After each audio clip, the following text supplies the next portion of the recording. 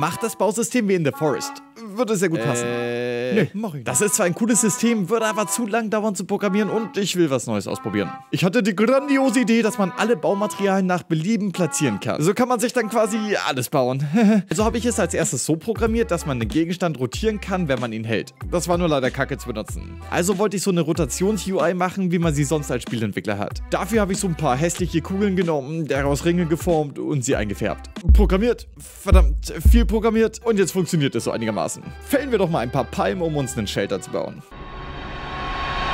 Wow. Wie findet ihr dieses System? Soll ich das weiter verbessern?